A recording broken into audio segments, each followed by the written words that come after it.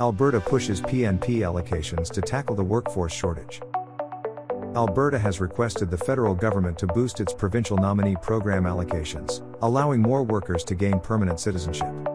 In a bid to address pressing labor shortages and extend a helping hand to Ukrainian refugees, Premier Danielle Smith of Alberta has made a fervent appeal to the federal government.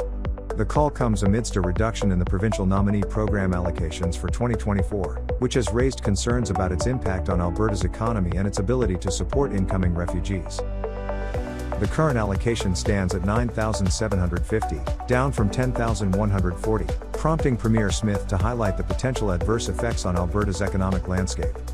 With employment figures reaching 2.5 million in February 2024, reflecting a notable 4.1% year over year increase, the demand for skilled workers across various sectors continues to surge.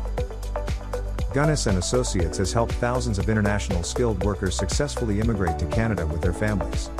Our skilled and experienced immigration experts have the expertise to accurately examine your case and advise you on the best method of proceeding to best serve your needs. Call us at 416 604 2669. Email info at immigrationmatters.info.